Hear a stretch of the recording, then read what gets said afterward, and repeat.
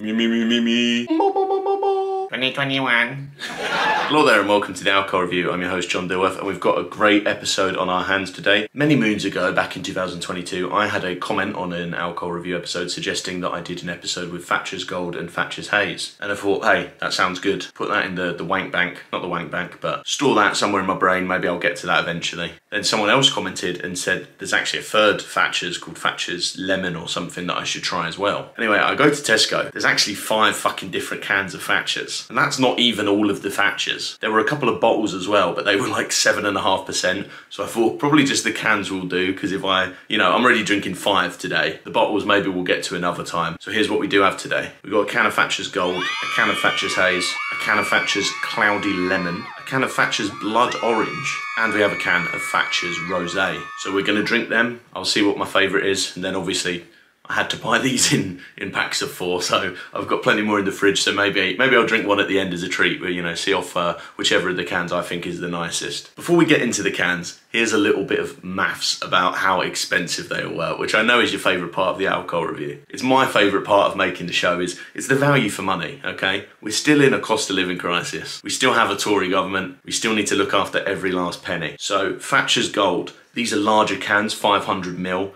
For a four pack of these, it was £5, 10 pence in Tesco. And it's worth mentioning that these cans are 4.8%, whereas the Thatcher's Haze is a 4.5. This was also a 440ml can, and this was £4.75 for a four pack. And then the rosé, the blood orange, and the cloudy lemon all worked out the same. It was £5 for four cans, 440ml, 4%. What does all of this mean? I'll tell you what it means. I crunched the numbers. Now look, I haven't studied maths or had to do it in any sort of serious capacity in upwards of 10 years at this point, but I think this is correct. If it's not correct, you know, prove me wrong in the comments. But anyway, if we're talking about value for money, the rosé, the blood orange, the cloudy lemon, one pound gets you 1.4 units of alcohol. After that, the Thatcher's Haze, a pound will get you 1.7 units of alcohol. One pound spent on Thatcher's Gold if you're buying the four packs in Tesco will get you 1.9 units of alcohol. And I think that's where we'll start. The strongest, biggest can, you know, makes sense to kick things off with this so that I don't have to be, you know, four cans deep and then having to drink it. Let's have a pop.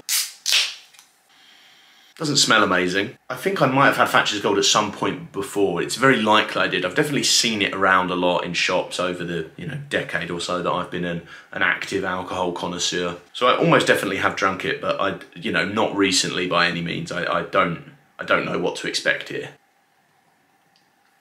Okay. I mean, pretty pretty standard, I'm not gonna lie. It's not blowing my, my socks off. It's not blowing my fucking frigid little cock. But it's not terrible. It's not insulting me. It's not Stowford Press is what I'm getting at.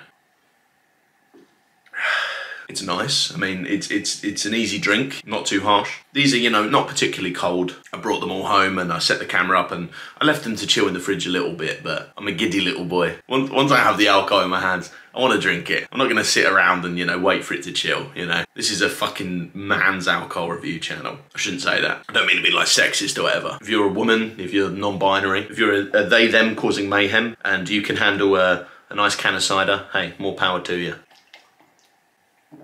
Mmm, yummy, yummy, yummy. I'm thinking maybe, maybe I save a little bit. Maybe I save a little bit from all of them. And at the end, instead of downing a fresh can, maybe I maybe I'd do something fucked up. maybe I create the sort of infinity gauntlet beverage of Thatcher's cider. I like that idea actually. We'll leave that, we'll leave that. What we uh, what we doing next? That was I would say, I don't know, you give that maybe a six, 6.5, somewhere in that sort of ballpark. It was it was fine. I'm excited next actually. We'll go from uh, strongest to weakest I suppose. I'll try the Thatcher's Haze Cloudy. When I originally got the suggestion for this video, it was just the gold and the haze. We'll, we'll try this and we'll give a sort of direct comparison between the two of these. And then we'll get into the gimmicky bullshit ciders afterwards. I mean, either I've either I've developed quite a bad cold in between drinking that one and drinking this one, or it doesn't smell of anything at all.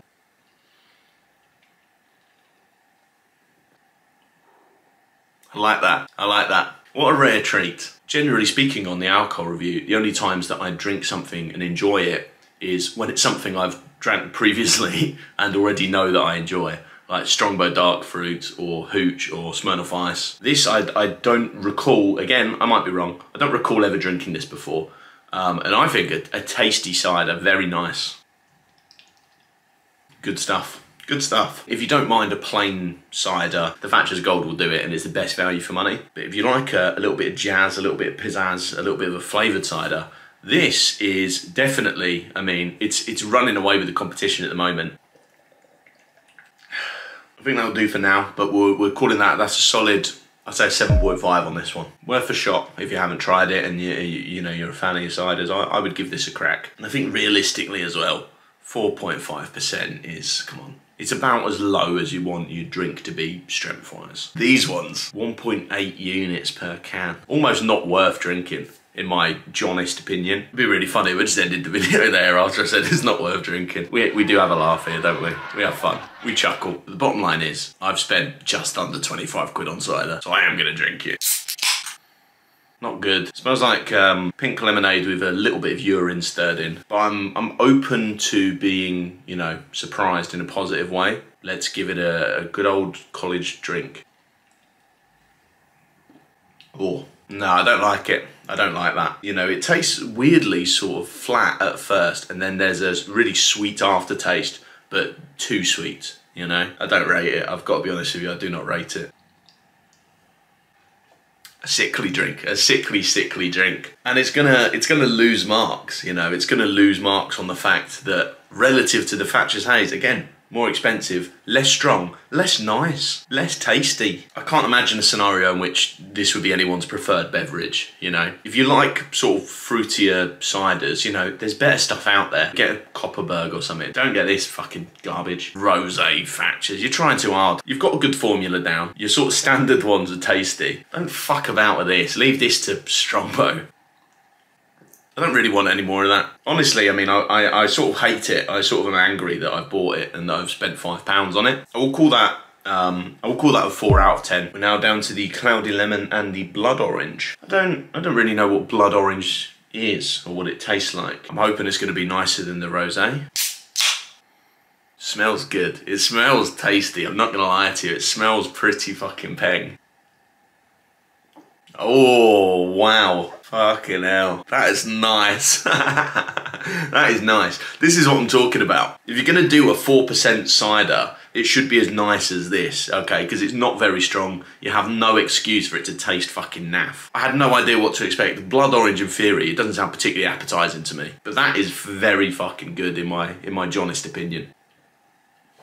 It just doesn't taste like alcohol. It tastes like a sort of, um, just like some weird juice, you know? This would be very peng to have on a, a, picnic on a nice summer's day or, or perhaps at a festival or something like that. That's the sort of vibe I'm getting. Obviously, I'm drinking it in, in the winter, so there's a bit of a mismatch in terms of the weather and the general atmosphere as opposed to the bev, but still uh, a tasty little treat.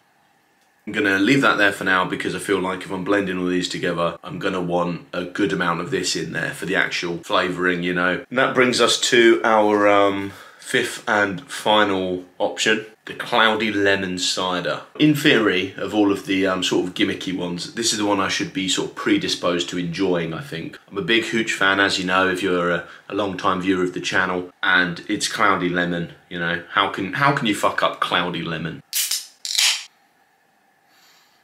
A little bit off. It smells a little off.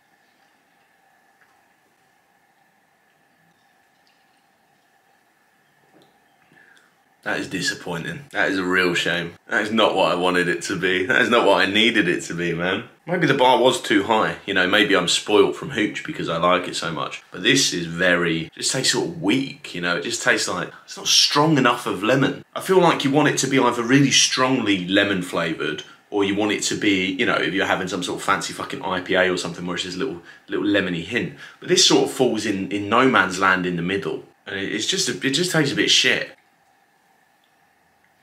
Don't get me wrong, I mean, it's not horrible, it's not disgusting, it's not turning my stomach, and I, I would still rate it above the Rosé. The Rosé is the shittest one, I can say categorically, but this is, this is second from the bottom if we're ranking these from worst to best, it's got to go rosé, then cloudy lemon, then the, the Thatcher's Gold, then the Thatcher's Haze, and then Thatcher's Blood Orange, the sleeper hit, you know, the absolute, the underdog winner. If you've tried all of these Thatchers, let me know in the comments, what do you think? You know, are there any particular flavours you like best? If you're in the market for some new cider and you haven't tried Thatchers before and you're thinking, what do I, what do I go with? What's my recommendation? I would say for a standard cider, the Thatcher's Gold's good If you like something a bit a bit sweet but not too bad, then the Thatcher's Haze is what I would go for. I would say try the, the blood orange. I personally really enjoyed the blood orange. It might not be your cup of tea, but the, the rosé and the lemon I would I would not bother with. I think all that's left is um is I'm gonna create a very special pint and then I'll drink that and then we'll be done. Here we go, we have the five variants of Thatcher's. We have our lovely blender. I think we want to go with a good amount of blood orange, as I said, because that was the, the nicest one. Fuck, how much is that? Oh, that's not too bad. Thatcher's Gold, I think, is sort of a good a good neutral sort of base. So we'll uh, we'll chuck a good amount of that in. Lovely stuff. The haze was nice as well. Pop some of that in. Yummy, yummy, yummer. As for these two, Let's go skeng with the blood orange. Let's just let's just get the rest of that in there. Yeah. Lovely. Lovely. We're clocking in at just under 500. I mean, there's a lot of foam in there. Let's just fucking, you know what. I think that'll do. Cover your ears, ladies and germs. Oh. Fucking hell. That could have gone horribly. I did not have that sealed right. Oh, we laugh. We laugh. My concern here, and you might be able to see this, is um, looks just like a lot of froth and foam. in, in for a penny, am I right? Realistically, this whole uh, process with the blender, not necessary at all. Let's see if I can somehow pour this into a pint, shall we? Oh my lord. What have I done? Why did I think that would work? I've got a pint glass, which I did not steal from a fucking pub. Stop asking me, guys. Let me just say, I fucking hope it tastes better than it smells. Starting to sort itself out a little bit. No, that is not gonna work at all. Look at that. Have you ever seen a worse pour? That's almost unbelievable how badly that went. Honestly, not bad.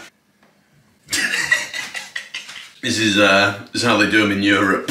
They actually uh, they like their drinks with a bit more of a head on them if we go out to Europe. I was in Amsterdam uh, last year and um, you know pretty much every Heineken I had out there looked looked like this. I've got all day, you know, I can wait. I suppose I could just drink the rest of these cans whilst I'm at it.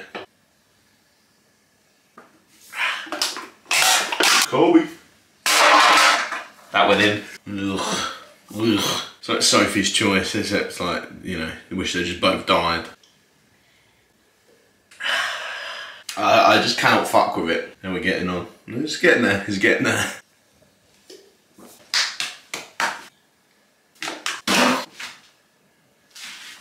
This fucking shit. I don't want to, there's so much left in this. Guys, that one's going in the fridge. I, I, I, I, I can't do it. I'll, I'll, drink this one whilst I'm editing the video or something. It will get drunk, you know, don't worry about that. But I'm just. look at my fridge, by the way. Going to put this in. Fuck me, look at that. It's an alcoholic's fridge, if you've ever seen one. Just chill out there, babe. No, don't, don't foam more. Just let me drink. Just let me drink one pint. Let me finish this fucking stupid video. Why did I put them in a blender? Thought I was being cute, you know, thought I was being smart. Oh, the blender just completely fucked it. I'm an idiot. You understand, you know, I'm, I'm 27 years old. I recently had a birthday. Thank you you know, thank you for your kind wishes. What, what am I, what is this?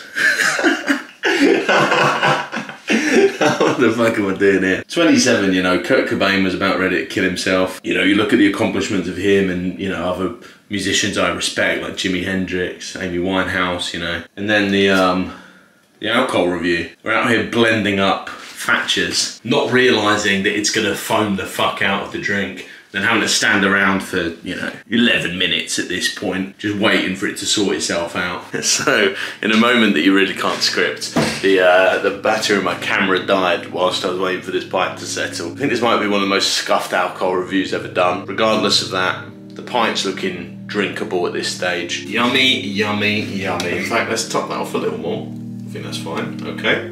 For now, thank you for watching, and uh, we'll drink this as quickly as we can. But you know, the, the battery on this camera may well die as well.